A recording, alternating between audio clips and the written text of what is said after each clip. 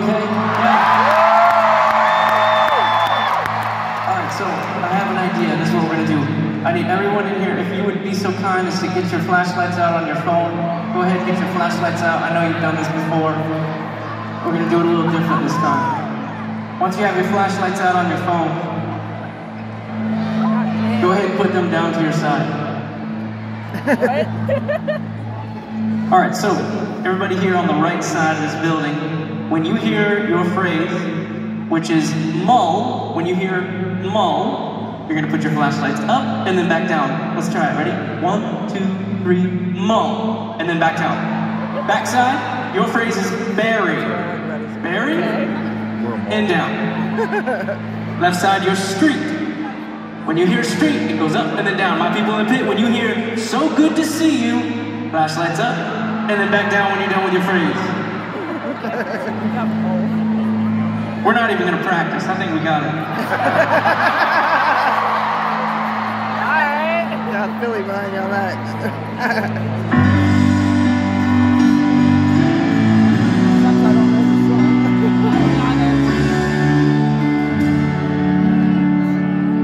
When time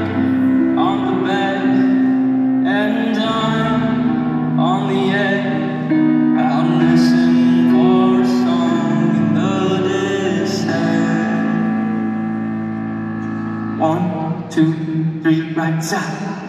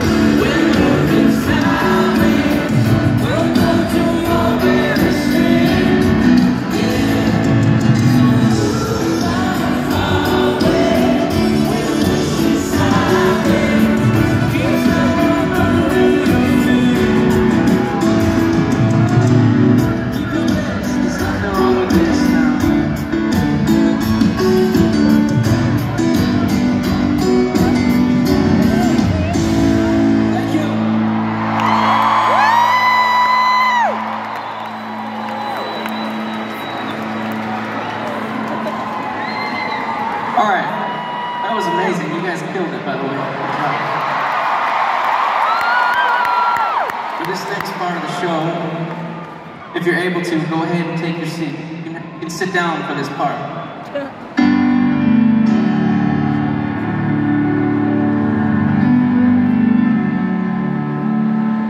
So for this section of the show, what I'm going to do is I'm going to take you back in time on a musical journey, and I'm going to play one song from each record that we've released.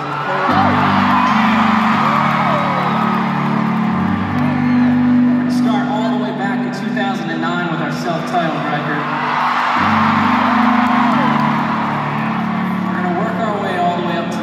Now, the tough part about this idea is the glue from one song to the next.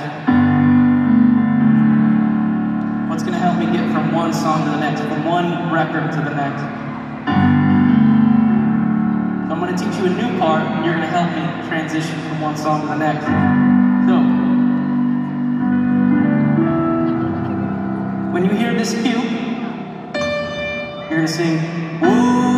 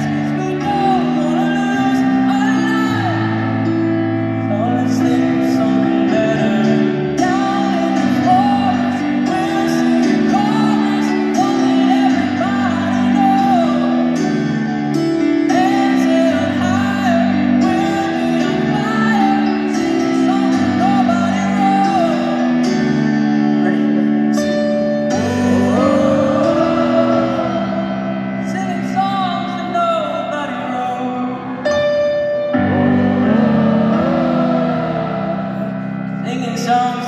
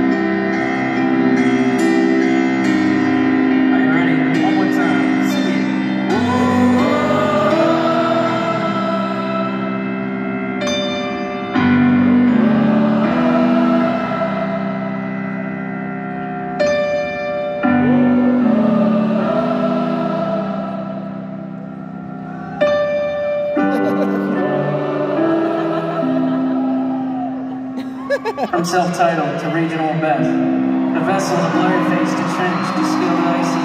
you've always been the glue until this thing together. Thank you.